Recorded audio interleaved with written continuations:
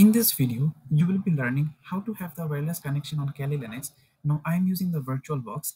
If I click here, I can see that I'm only getting the wired connection and no wireless connection.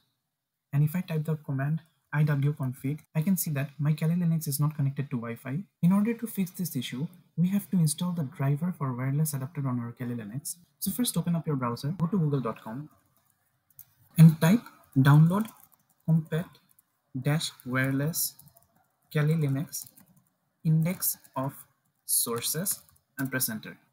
Go to the first link and in this page press Ctrl plus F in your keyboard to search for the string 2010 dash 06 dash 28 and you can see I have to download this file. So click on this file and your file will be downloaded. Next open the directory that your file got downloaded to. I can see that my file got downloaded into the downloads directory.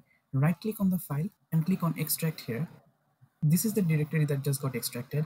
Now go back to your terminal and first change to the root user with the sudo space su command. Next, I know that my file got downloaded into the downloads directory, so I will change to the downloads directory. Then move to the directory that just got extracted, which was this one. So cd and the name of the directory and press enter.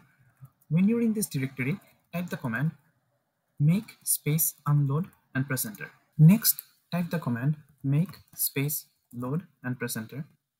And now we are all done. If I click here, I can see that the Wi-Fi network adapters exist. And in my terminal, if I type the command iwconfig and press enter, I can see that the WLAN 0 and the WLAN 1 has been added. So that is how you have wireless connection on Kali Linux. Thank you so much for watching the video.